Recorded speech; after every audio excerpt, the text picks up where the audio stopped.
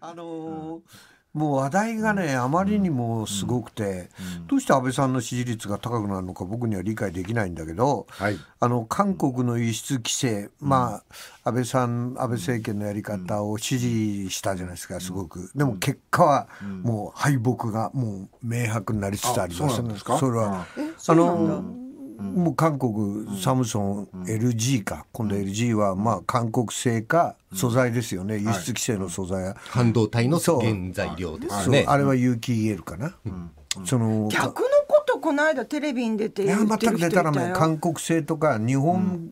日本メーカーの系列の欧州企業とか、迂回したりとか、いろんな形で出ているので、まあ、監督が目処目処を立ったんで WTO 提訴に踏み切ってきてるっていうのが本当だと思いますね。はあそうなんですか。だって日本の安倍政権は、あの表向きだけやってる感をやるだけで、なんかこの世耕さんは逃げちゃったでしょもう結果的には。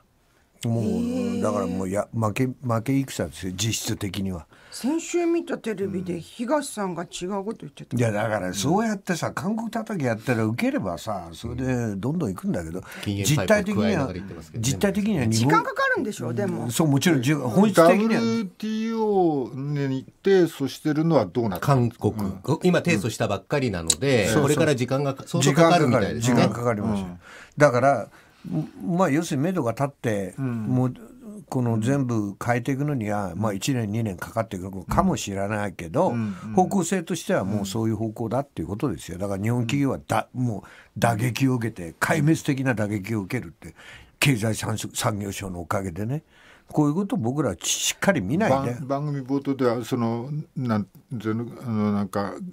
企業のことは分かんないけどもう観光客で大変なことになってると。そ来なくなっちゃってて、うもう九州とかすごいですよ。うん。ことになってるっていう話を冒頭ではさせてもらいましたね、いやもう九州ではね、本当に韓国いやだから韓国俺さの観光これで客がもそう。うバターッと止まってこれさ、まあ、その企業でもそうだけど、これ倒産したらどうすんのかないやと本当ですよ、だ誰も責任取らないこれ。取らないでしょ。でしかも素材産業がバーッと韓国に輸出してたのがみんな止められちゃうと、はいはい。でまた損失は誰が補填するんだよって、経産省安倍さんかそうい世耕さんか経いやだから産省主導のでうまくいってることあん。のい一つもないですよ。いやわかんない一けどつもですよ。原子力も。でもわかんないけどその部品だよ官ね。民ファンドもあの部品を輸出してたわけだよね、そうそうそれやめちゃうと。まあやめちゃうというか厳しくする。輸出しにくくしちゃうっていう。するといやだからさするとき日本のそのまあネジ作ったりいろんなとこをしてる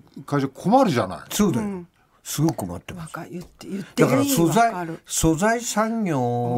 は一生懸命日本のデバイスメーカーがダメになっちゃったんで、韓国に食い込んで一生懸命、あの開発を協力して売り込んでったわけですよ。とこそれろがをだからそれをもとに韓国はサムスンだとかいろんなところが LG とか SK とかそういう伸びてった。素材で伸びてったわけだけうん。どだけどもともと言えば最終製品を作るメーカーが勝っちゃったんですよ。だからそこが開発の主導なわけですよ。そこと協力しなきゃ素材メーカーはやっていけないわけだから。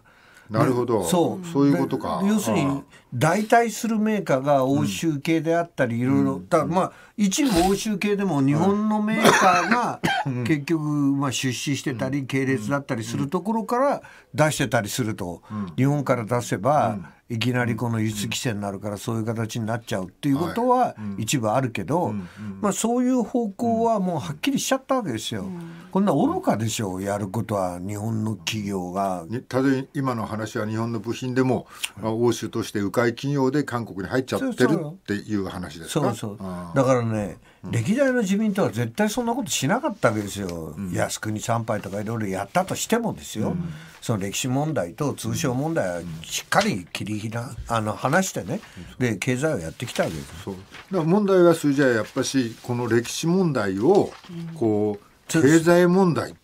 それから安全保障問題ってどんどん発展してきちゃったじゃない？だって、まあ発展って言わないけど、政権がやってるの狂ってるよ僕は。憲法改正の審議、国会審議ばっかりを言って、もうあの憲法審議会のなんか細田会長とかなんか衆議院のね審議会の佐藤勉とか、そういう人事ばっかりやってる間に千葉県の災害はバンバンバンバン進行しちゃって30万個ぐらい？でで、まあ、若干減ってるけど豚の農家であるとか海産何百頭も死んでるすごいですよね。だからそういう被害をさもう目の前じゃないですか。すぐ近くでねそういうことが起きてるのに一言も触れないってそういうことがおかしいでしょ。ね？えじゃあもう一つ突っ込むけど、支持率は上がってますよ。だからメディアがちゃんと報道してないでしょメディア。がいや僕ひどいと思いますよ。だって。普通に考えると内閣改造後の、おすぐの、おえー支持率アンケートなので、やっぱり小泉進次郎効果としか考えられだから小ないですよね。泉進次郎のなんか一言二言みたいなワンフレーズを放送してることが狂ってるじゃないですか、じゃあ韓国の閣僚になる人がスキャンダルがどうだってい。うのを朝から晩までやってんだけど、じゃあ萩生田文部大臣の加計学園はどうだったのか竹内だ高市早苗ね、えー総務大臣は放送法でテレビ規制でしょ、西村康則康俊か、あの経済再生大臣は赤坂自民邸でしょ。加藤勝信厚生厚労大臣はね、統計の改ざんの時のその当事者の厚労大臣だったわけでしょ前の。から北村地方創生大臣はほとんど答弁ができなくて桜田2世でしょ、で今度は出てきてるのは武田義嗣と、あの国家公安委員長。国家公安委員長なのに元山口系の僕暴動暴力団まあ疑惑が今出てきてますよね。そうそう。写写真を一緒に撮ってるとか、竹本直一科学技術省 IT 担当なのにホームページはできねえしおまけに暴力団とまたあのなんかさ撮影してるっていうことでしょ？これだけでたらめなことをやってる内閣改造で、なんで韓国の話ばっかりやってるんだあとはマスこの国のマスコミにも思ってもらいたいんだけど誰かのポジションどうなるかっていうより人命の方が大事じゃんね、そう人命の方が大事。だけどそうじゃなかったよね。そうそう今回もね、それであの問題はね、まあもうこの間も言ってるけど上野厚労政務官の問題を一つも片付けないで、その起訴されなきゃ何でもいいみたいな形で、で今回出てきたのはこのう上野政務官が我慢できずに出てきた表に出てきた時の出ていった先が荻生田文部大臣文科大臣に泣きつきに行ったわけですよ。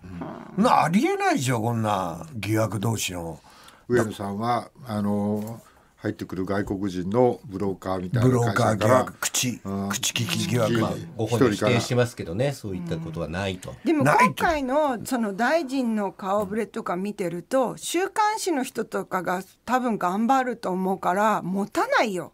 ね。いや持たないと思うけど、僕は争点の問題で言うと今一番争点で大事なのは、はい憲法改正を議論するべきなのか、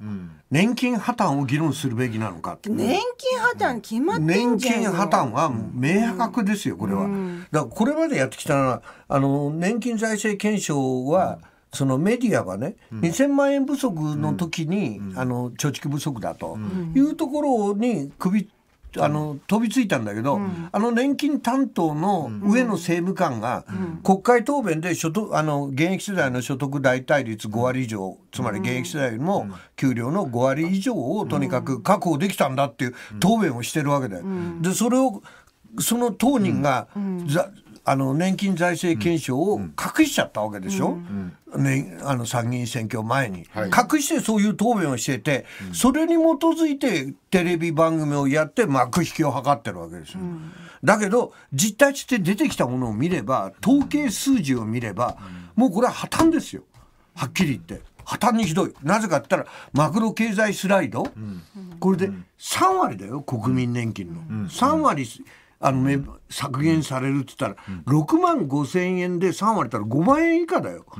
じゃあ自民党の対策って何なのかって言ったら、厚生年金への加入を促進するとか言うんだけど、そんな母子家庭の人とか、あるいはあのなんていうの？あのロストジェネレーション世代の非正規とかさ、農農業者や自営業者の妻とかさ、奥さんね未亡人と農か。業者自営業者が入らないのはもうずいぶんおかしいよね。おかしいし入れないのは。あのそういう未亡人女の場合には、国民年金系の要するに年金しかもらえないっていうことだから、そういうことで生きていけるんですかって問題あってじゃあ消費税でそのために補填するようなことをやるかって言ったらやってないわけですよ。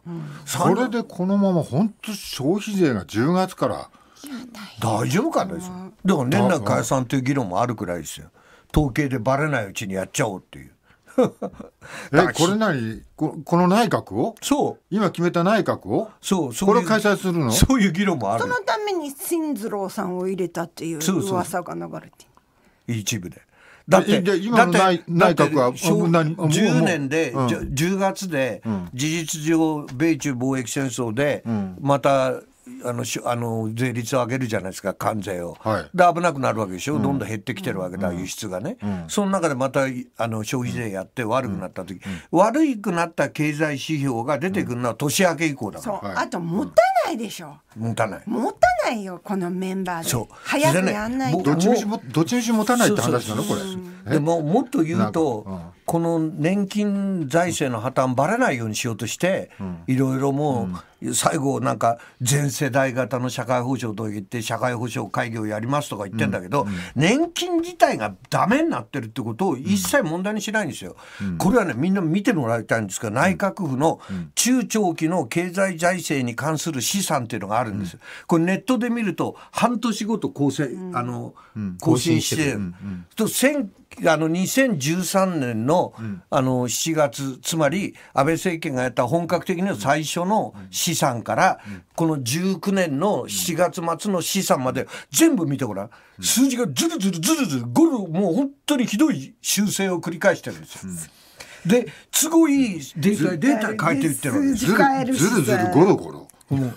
めたくさなんですよ。あまりにひどすぎるんですよ。だけど、なんかあれなんだよね。数字ってどうにでも変えることができるんだよね。そうどうにでもっていうのははっきり分かるそうなんだよ。でもちろん我々が言ってるように実質賃金がマイナスなのにあのプラスに全部してると。そしたらマイナスだったら絶対年金は目減りしてしかもマクロスライドが効かないから年金財政は破綻するわけじゃない。なもう明白じゃない。ずーっとマイナスなのにじゃあどうしてプラスになるんですかって話なのに。だから僕はね今日は言いたいのは、はい。みんなこあの野党はねもうはっきりしろと。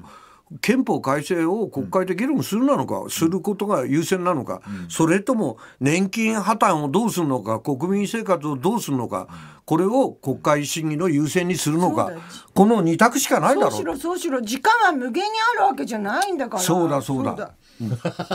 まあ優今日先意見が一致しましたね。優先順位としてはやっぱりあの生活の方が優先されるべきですから政治的資源は限られてるんだから、まあ、憲法改正もいいですけどまずは将来に向けて、えー国民の生活をどう組み立てていくのかっていうのを考えた方がいいですスー。パーでね、あの弁当の値段見てたのねカツ丼が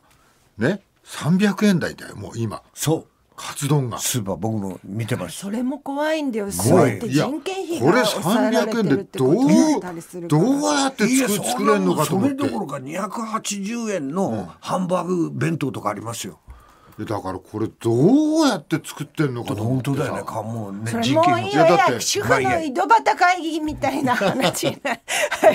奥さんこっちの方が安いですよ。いやいやでもね本当にね最後は憲法そんなこと言ってないよ俺は。憲法改正かね、やっぱり年金破綻かって真面目考えてに議論してバラ色の未来がほっといても来るわけがないんだから。太田さんもなんかでもう早く負けって送りながら。危機的状況に聞いてあげなよ危機的状況にあるっていうのを前提で与党も野党もちゃんと話をしないと将来世代が大変なことになりますから。そうだ。隠してますからねは参議院いもういいんだ選挙前で。よ。ありがとうございました